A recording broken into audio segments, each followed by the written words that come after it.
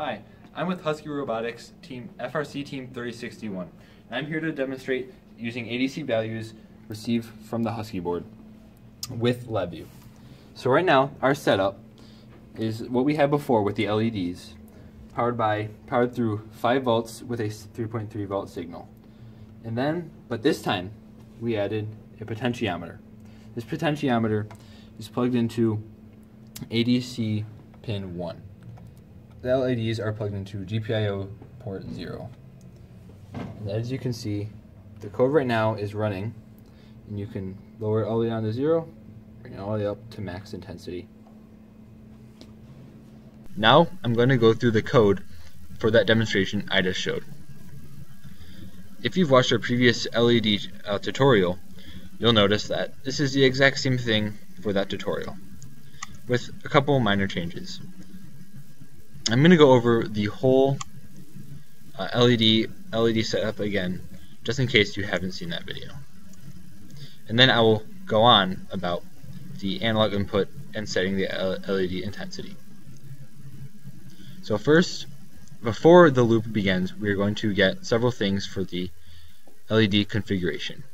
And that is the LED strip channel, which is the pin the LEDs are plugged into, and we can see that is pl plugged into GPIO 0. Next, we have the LED model. This is the for NeoPixel models, and we're using the WS2812 model. We also support the WS2812B model. Next is your strip length. This is the number of LEDs in your strip. We have it set to 100. Now, these values go right into the HuskieBoard configure LED.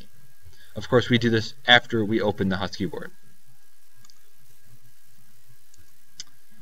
Once those values are set, we go right into the while loop.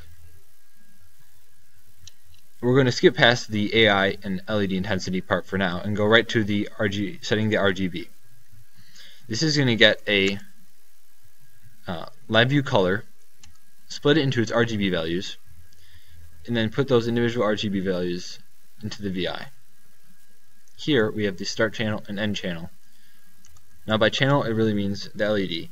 So this one we're starting at the at the zero LED and ending at, at the zero LED. Now that is actually gonna set the first LED on. That's what you want to set the first and second one, you go 0, 1, because LEDs start at 0. If you want them all off, you would have to use the LED clear screen, or clear LED VI. So that's the start and end channel. And that goes into these LEDs and is sent off, and that, that information is sent off to the HuskieBoard. Okay. Now I'm going to go over the analog input. So before the loop starts, we're going to grab the analog input channel. Now I have this set to, well, it should be set to 1 because we are we are plugged into the first ADC pin, which is actually 1, not 0, different than the NeoPixel LEDs and set LED RGB. And once that is established, we go right, that goes right into the read AI polyVI. Now this is a poly VI, so you can set it to a AI single channel or read AI all channels. Now you notice that read AI all channels has no input. It just grabs all the all the um, analog inputs and then outputs them as an and outputs a two actually arrays of scale voltage and raw, raw values. Let me set that back to the single. Now I'm going to go over what's happening here. So we are getting we're getting a scale voltage which goes from 0 to 3.3 volts and the raw voltage which goes from 0 to 4095 there's no, no specific measurement it is just a number to indicate the max and min value.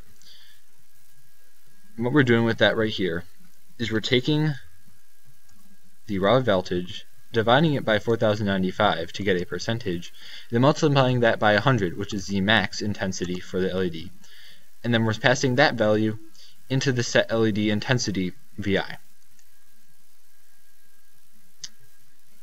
Now, we are not using the scale voltage because that goes from 3.3 to 0 to 3.3 volts and wouldn't be as accurate for our purpose here. One more thing. Down here, you see that we have the update frequency. This is how many times a this is how many times it is sent.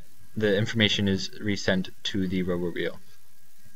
So you'll notice if you have it set to fairly low, the intensity will change very slowly and look very choppy. But you can obviously bring that up and make it much smoother. One more thing about reading analog voltages from the board is that you're not just limited to setting LED intensities.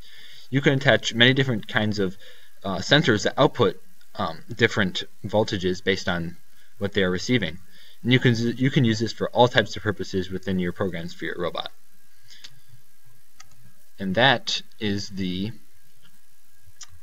um, ADC tutorial.